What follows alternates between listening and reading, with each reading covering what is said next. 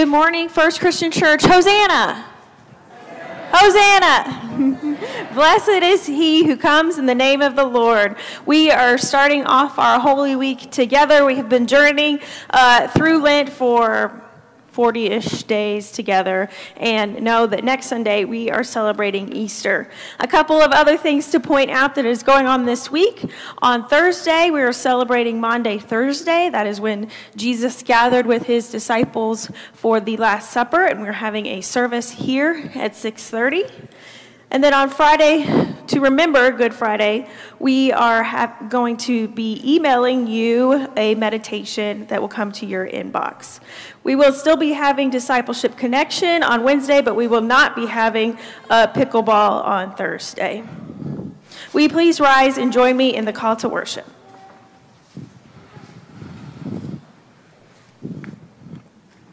As the people welcome Jesus in Jerusalem with palms and shouting,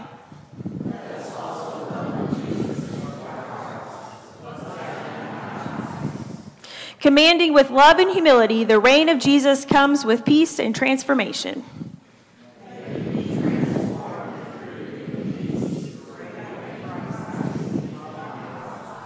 Hosanna, Hosanna in the highest.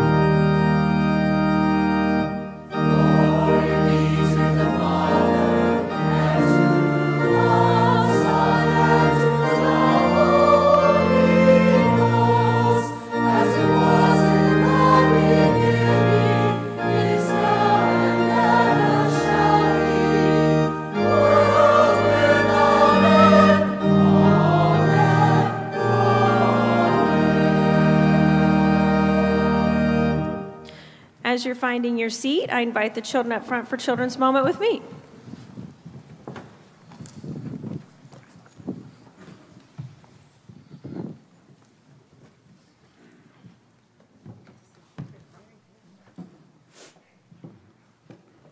Okay, so last last week I asked if you had a donkey that I could borrow.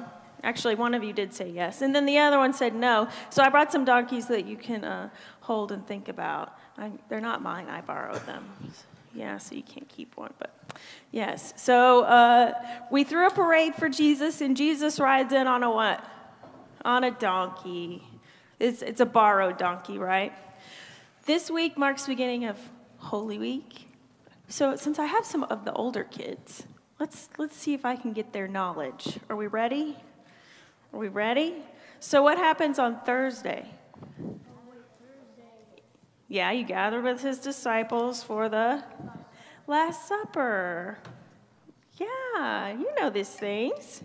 You've had a good minister. Um, I pointed out in the last service how funny that guy's beard is. I got to kick him. Okay. Um, and then what happens on Friday?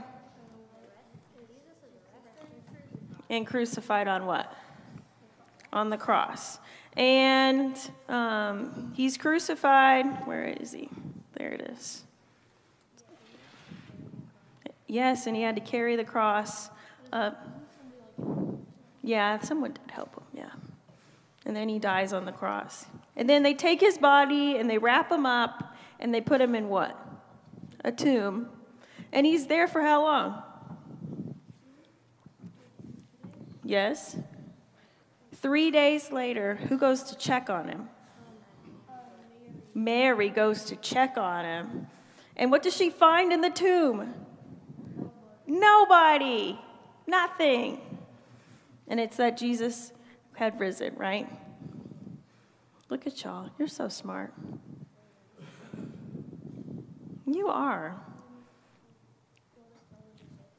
Then they have to go tell the disciples, and yeah, yeah, and they don't believe him at first. Yeah, They're, someone named Thomas doubts him.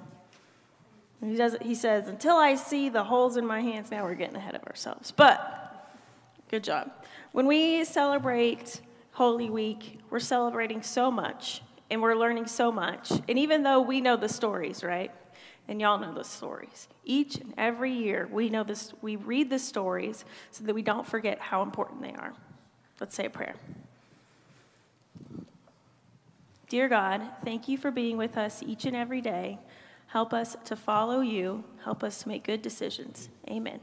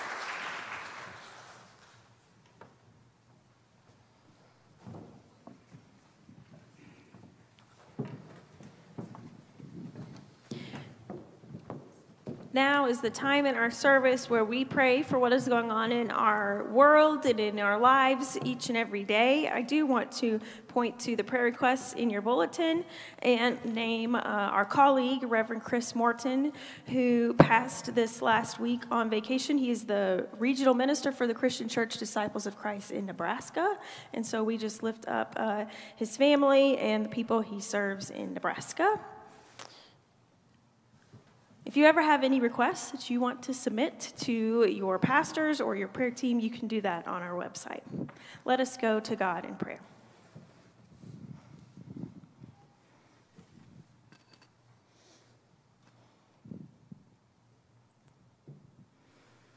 Gracious and holy God, we say to you, Hosanna. We exclaim that blessed is the one who comes in the name of the Lord.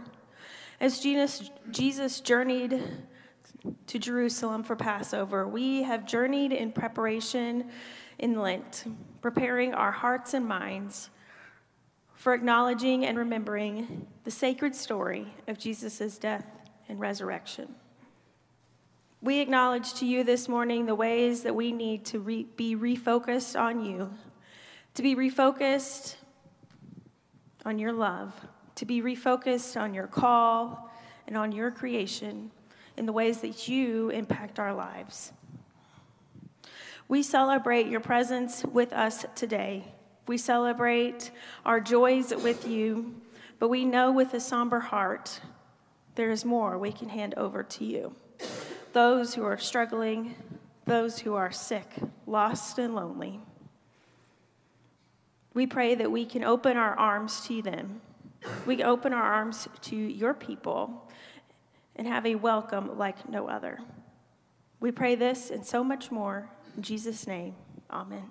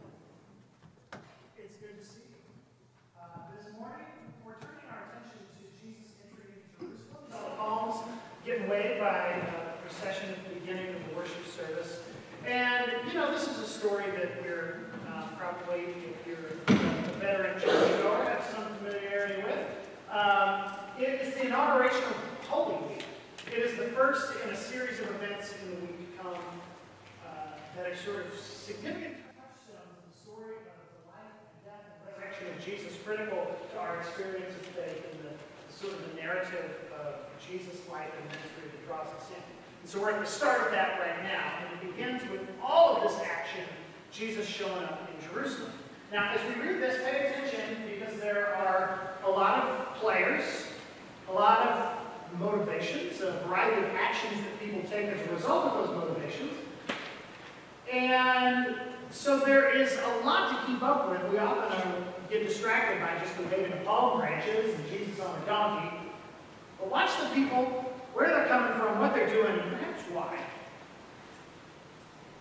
Matthew chapter 21, we'll read the first 11 verses. When they had come near Jerusalem and had reached Bethphage, the Mount of Olives, Jesus sent two disciples, saying to them, Go into the village ahead of you, and immediately you will find tied there a donkey and a colt with her. Untie them and bring them to me. If anyone says anything to you, just say this The Lord needs them, and he will send them immediately. This took place to fulfill what had been spoken through the prophet, saying, Tell the daughter of Zion, Look, your king is coming to you, humble and mounted on a donkey, on a colt, the foal of a donkey. The disciples went and did as Jesus had directed them. They brought the donkey and the colt and put their cloaks on him, and he sat on him. A very large crowd spread their cloaks on the road. Others cut branches from trees and spread them on the road. The crowds that went ahead of him and that followed were shouting, Hosanna to the Son of David. Blessed is the one who comes in the name of the Lord. Hosanna in the highest heaven. When he entered Jerusalem, the whole city was in turmoil, asking, Who is this? Crowds were saying, This is the prophet Jesus from Nazareth in Galilee.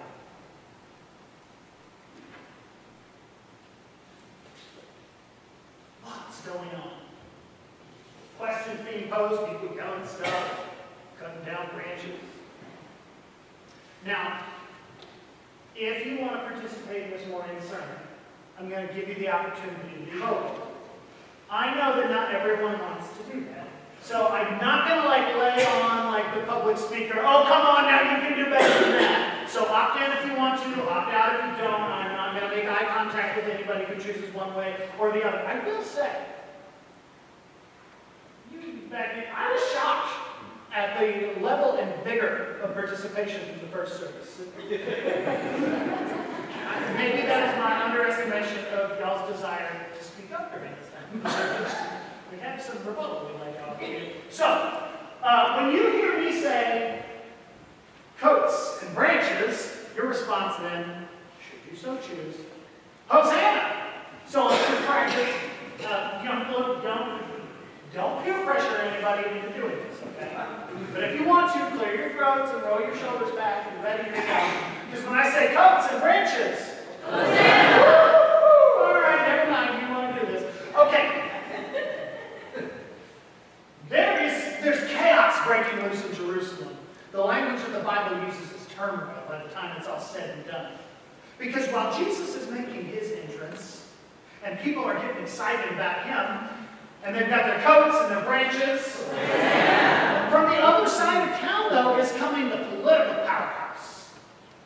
And there's these competing voices, these competing presences of who is involved of who wants your attention.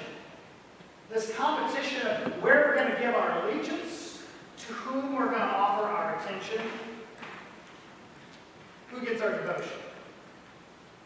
And we hear these folks and we see these folks as they're described, taking off coats and, and going out into the trees and branches, you know, kind of doing their thing to create this. Wow, really into it. So like creating this pathway, creating this pathway for Jesus to enter in.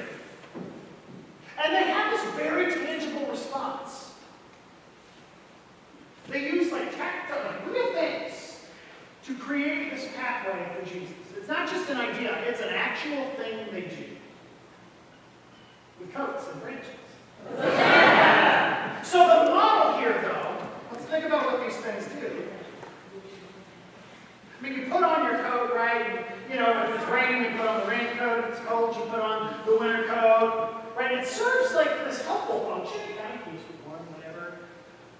Uh, but it can also be sort of maybe protective, conceal, kind of create some distance between some perceived threat and us. Branches do a similar thing. Like, yeah, they cast shade and they're, they're places for trees to build their nests, and that's really good. And so there's some like nice parts that branches do for us, but you know, they also like can block our view. They can obstruct our, our vision. And so the model here uh, from the folks who are welcoming Jesus into town is to lay down what covers up and what obstructs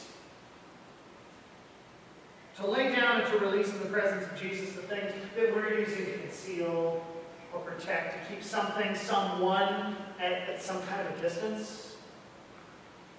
The welcome that they give to Jesus acknowledges those things, releases those things, and laid them down in his presence. Branches and coats. Now, I grew up in a neighborhood. I did not belong in. Like the Mitchells had no business lowering the real estate value of neighboring homes on Grand Avenue. You know, it's a fancy part of town. In Keokuk, Iowa. It was an old, old river town. And this was the last road in town as the town sort of moved out from Main Street. It was the last road that sat above the Mississippi River, high on a bluff above the river, gorgeous setting, and it's where all of like years and years and years ago, where the rich, fancy power players in town built these beautiful, majestic homes in the scenery of the beauty and majesty of the Mississippi River. Like the house directly across the street from the one I grew up in was built by Howard Hughes Sr. That was one of his big oil money uh, purchases was to build this home. He was from Missouri and his folks had moved to my hometown and he built that home for his parents. Huge house. We didn't know. We were across the street. We weren't on the riverside. And they a little cheaper over there. And, but the folks who lived on the riverside, they had work to do if they wanted to see the river. Because the bluff, albeit a bluff, it wasn't like a, a vacant cliff. It was a relatively gentle slope. You wouldn't want to fall down it, but it was gentle enough that there were lots of trees that grew on it. And so in order to see the river, you had to get out there and trim your branches. In order to catch a glimpse of the majesty in your proximity, you had to get out there and prune a little bit, cut some things back so that you could see. So that you could get the glimpse of the majesty your proximity. You've got to clear away sometimes the stuff that's obstructing our view of what's already right in front of us. And I think that's the model that we see from these folks who are welcoming Jesus into their presence. Is a clearing away of the things that obstruct a clearing away of the things that are, that are preventing them from fully experiencing the proximity and presence. The things that we might be using to keep us at an arm's length to give us a sense of protection or a false sense of control. Their coats and their branches. So what might we need to release What do we need to cut down and lay down? What has become so like overgrown, so overrepresented in our view, in our minds, our spiritual experience, that we now have trouble making out the vision of Jesus in our proximity. That we have trouble fully seeing and appreciating the majesty that's already present in front of us because what has grown up, what we've wrapped around ourselves as some sense of protection has actually kept us at a distance or obstructed our view, allowing us to really see more tree than beauty, more branch than proximity to Jesus. What are those things that we've got to kind of trim back a little bit? Shed off a layer. Can be in the way that we understand ourselves. You know, can be in the way that we understand one another. Ideas that were maybe put into our head about people different than us from, you know, at an early age. You're not responsible for what you're taught when you're a kid, but it can stick.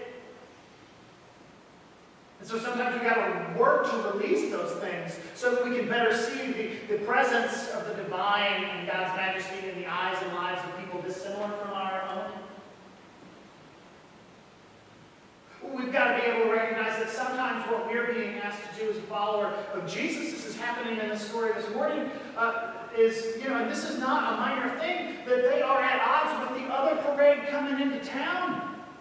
And that the power structure and the political structure and the regime under which they live is at odds with the type of wide open love and expansive grace that Jesus came to So sometimes that shedding of a layer, that cutting down of a branch, the things that we've got to release or lay down, the things that are obstructing are, are a question of our own allegiance, the question of our own sense of where God is calling. And how willing are we to step that direction? But if you've ever cut down branches, you ever trimmed a tree, or anybody have those bushes that just, like, they started out like cute in front of the house, somebody else planted them, and now they're enormous, and they just become like. It, I have a pokey one too. Like you can't get close to it. It's it's got its own defense mechanism, and so these hedges like are just out of control, and you've got to stay on top of them multiple times a year to just take over. You ever like trimmed a tree or cut back a hedge, or have you ever cleaned out a closet? and then you look around at the piles you've got, and you go, what am I supposed to do with this? Where am I supposed to put this? I've started out a day of spring skiing in my life, you know, 34 degrees looks cold when you're looking at the forecast on your phone. But when the intensity of the mountain sun comes out and you're huffing and puffing from a day at altitude, you start to get a little toasty and you've got to shed a layer. There are not just like coat racks in the middle of ski runs. What am I supposed to do with this? Where am I supposed to put it? I mean, we're familiar with that question.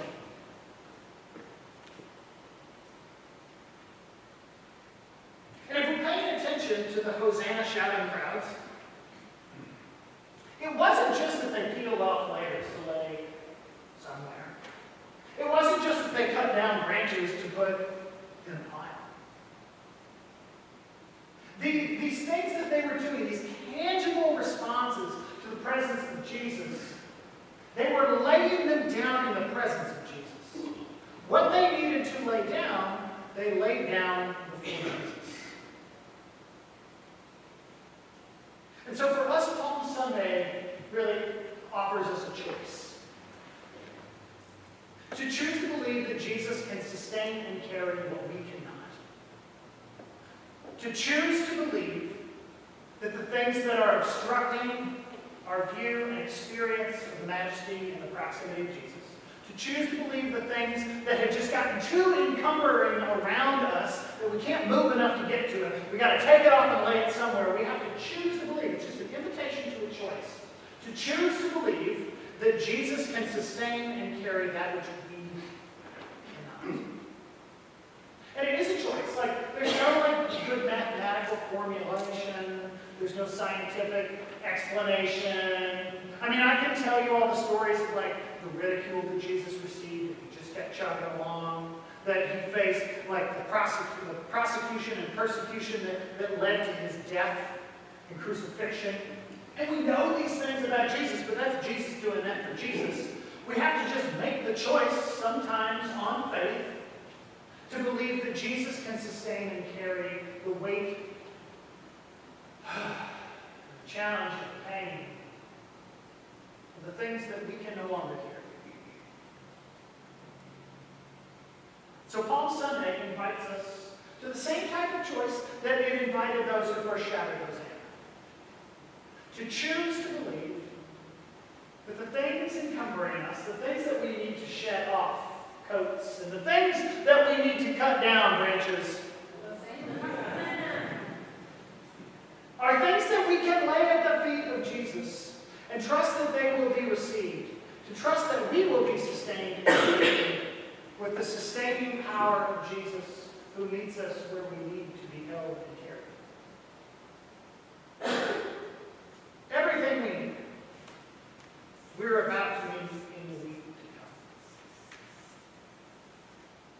And this powerful story in its tangible sense in Holy Week began today. With coats, branches, uh, amen.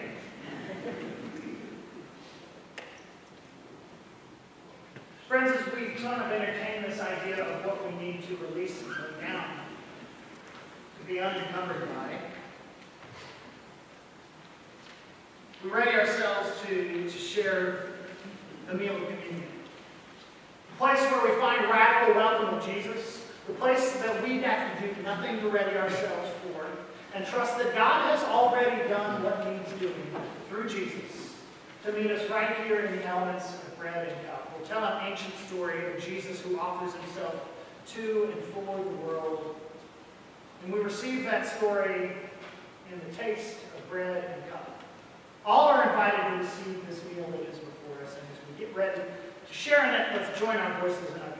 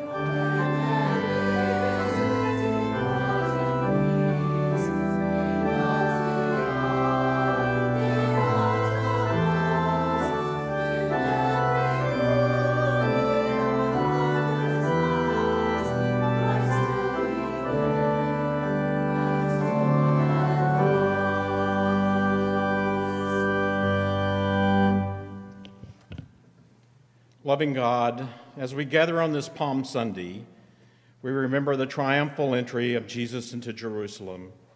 Greeted with shouts of Hosanna, we recall the palms and garments spread before him, symbols of honor and praise. Yet we also remember the path he trod, the road that led to the cross. In the breaking of the bread and sharing of the cup, we are reminded of his ultimate act of love and sacrifice. May this communion nourish our spirits and renew our commitment to follow in his footsteps of our Lord. Grant us grace to embody his humility, to serve others with compassion, and to seek justice and peace in the world. As we partake of this bread and cup, may we be bound together as one body, united in faith and love. And may we go forth from this table empowered to live as faithful disciples, sharing the good news of your kingdom with all whom we meet. In the name of Jesus Christ, our Lord and Savior, we pray. Amen. Jesus was gathered with his disciples in an upper room. And from the table where they gathered, he took bread and blessed it and gave thanks for it.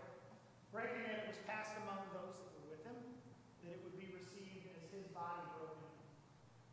Similarly, he offered them the cup, with blessing upon it that they would receive it as his blood shed for the forgiveness of sin. The spirit of that same Christ, our Savior, stands at this table, is among us, offering us to take a taste of those similar elements, to hear those same words of covenant and invitation. And so as we receive this meal of communion this morning, do so in the Spirit of Christ among us, who calls us to life now and eternal.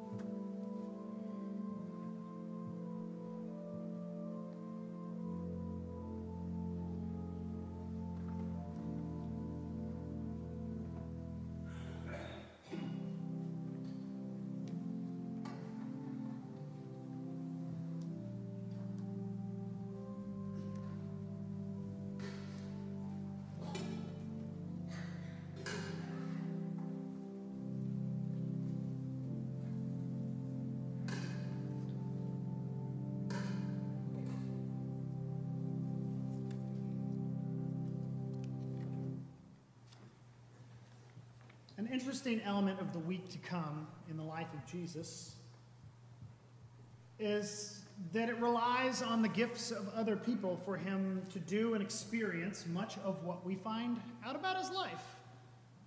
Today it is someone else's donkey. On Thursday, it's somebody else's upstairs. Somebody else has prepared the room.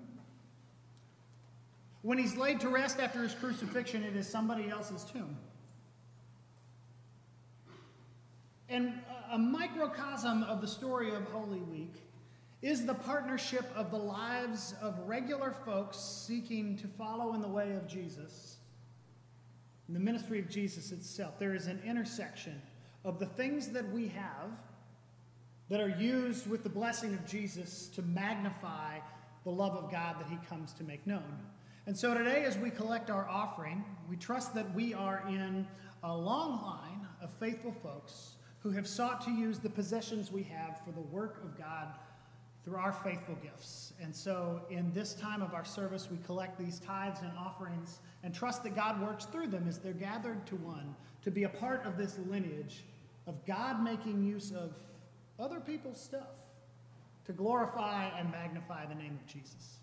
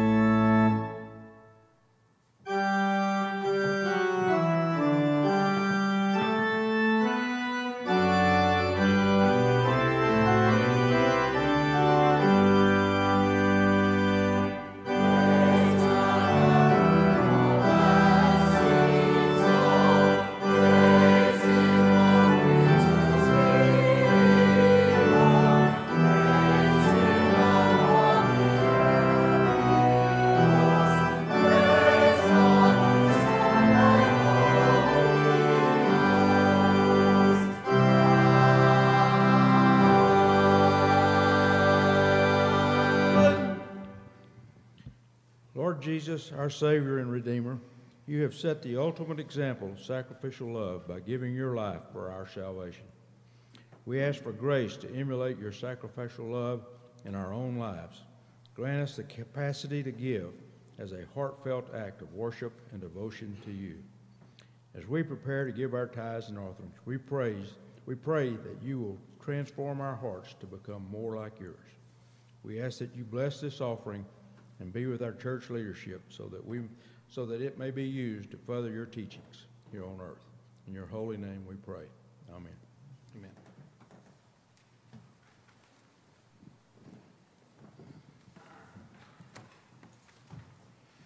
As a community of faith, we've been journeying together to Holy Week for 40 ish days.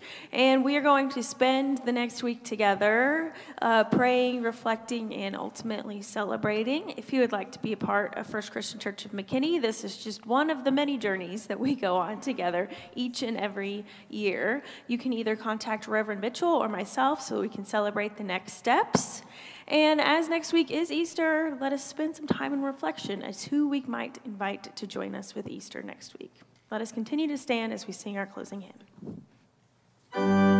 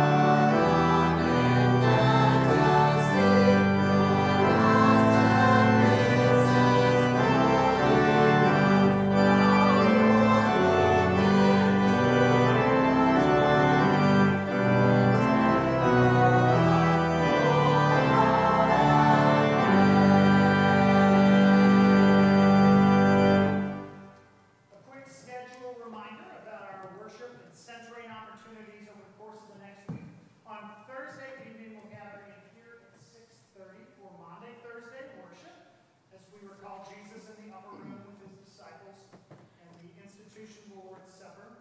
Friday, you'll receive via email and on our social media a video reflection, a centering moment for Good Friday, calling to mind the crucifixion of Jesus. Sunday, we will have our two ordinary worship services, although not ordinary, it's Easter, but at 9 o'clock and 11 o'clock. We will also, for the early morning risers among us, there will be a 7 a.m. sunrise service in our prayer garden, which is accessible through the, um, the parlor here, where there's two sets of double doors inside that'll get you through the parlor and out into the prayer garden, which, by the way, is gorgeous. It has not looked this good in years. It's gotten a major facelift and some ongoing care from some church folks. A great place for us to gather for our sunrise service. That's at 7 a.m. At 10 a.m., if you come to this service ordinarily, come early and eat. Um, we're having brunch over in the Discipleship Center at 10 o'clock following the early service. Come and be a part of some fellowship and celebration with the church family. Um, and uh, between now and then, let the grace of the Lord Jesus Christ, who enters triumphantly today, let it go with us, that we might have eyes opened and hearts softened and spirits attuned to his proximity and his majesty already present. May we leave this place ready to bring our adoration, shedding coats and branches. Amen. Amen.